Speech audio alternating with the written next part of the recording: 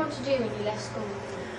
Um, work with languages, because I've been in love with languages since the first day that I joined in year seven, but definitely not teach. Where did you see yourself in 10 years' time? When I left school, I saw myself working for someone like the UN or something doing translation work.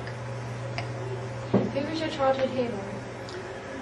Mostly been independent women. So as a child, playing was always Calamity Jane.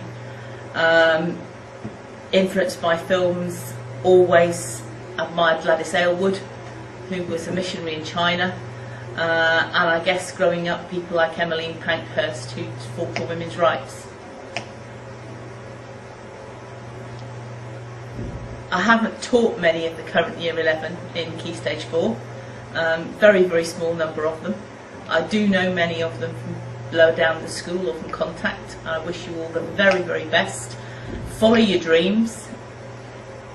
And I wish you lots of success in the future. When you left school, what did you want to do?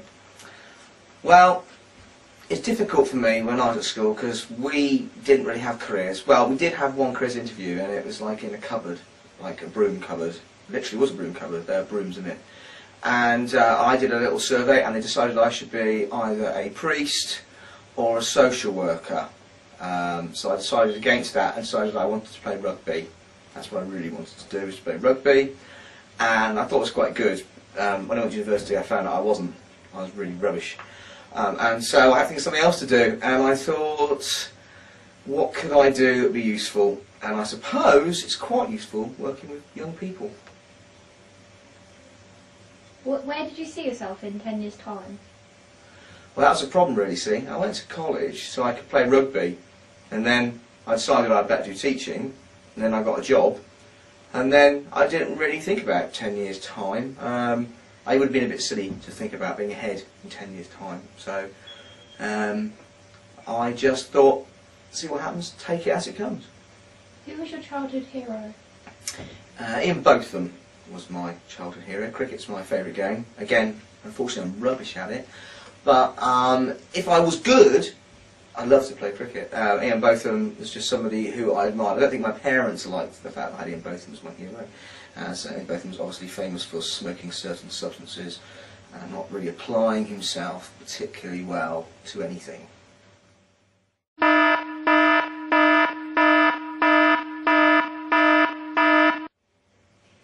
The leaver's message, right, yes, I'll take that out, because that's really bad. It makes it look like I hadn't thought about it. Uh, year 11, wow, yes, year 11, what can I say? Bye. No, uh, more than that. Um, you're the group, I think you're the first group, I'm sure you're the group that I've been here with. I started when you started, and I hope I'm not finishing when you're finishing, because obviously I'd like to carry on working here. Because it depends on the exam results. Maybe it will be my last year. Um, thank you for some amazing memories, Year 11. Um, one of the nicest year groups I've ever known, most laid back. Didn't really work, of course, that's unfortunate. But as people, you're very, very nice. So um, I hope you all get to do whatever it is you want to do. What did you want to do when you left school? I knew I was going to go on to university, but after that I didn't know what I wanted to do. But I've been involved in all sorts of drama things, and so therefore I thought I might go into the theatre and be an actor, but I was no way good enough. Where did you see yourself in 10 years' time? Where do I see myself now in 10 years' time, or where did I see myself when I was 16? How- What, I would, what I'd be doing when I was 26? When you left school? Don't know. Didn't have an idea. I was going to wait and see what university gave me. It's quite nice, actually. Who was your childhood hero? I didn't have any hero heroes as a child.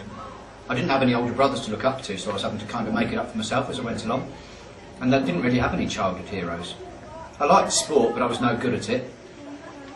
I liked going to theatre, but there were actors who I thought I couldn't really copy. So I didn't really have a childhood hero.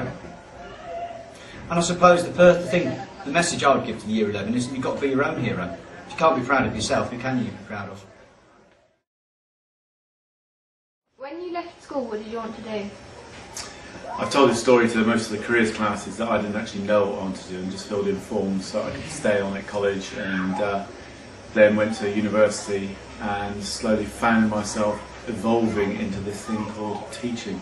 But it was never planned, it was by accident more than anything else. When you left school, where did you see yourself in 10 years' time?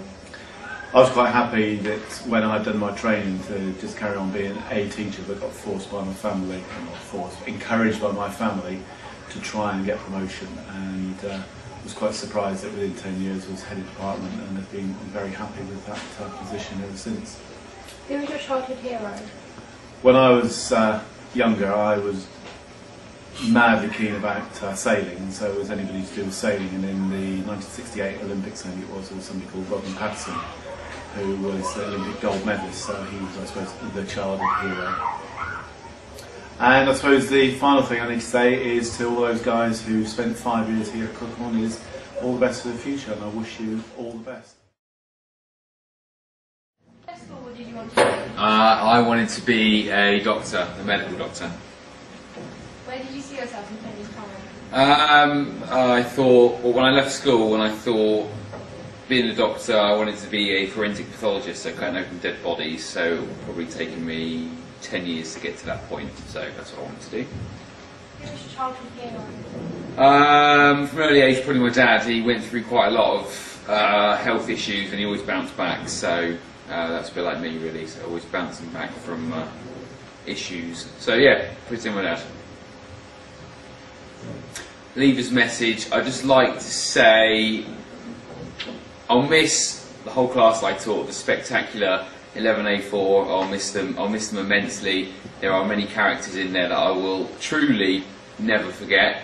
Uh, even when I probably retire when I'm 50, I'll still think about that, that class at Crookhorn. Uh, but seriously, uh, congratulations. Uh, you finished. Good luck for the future. I wish you all the best.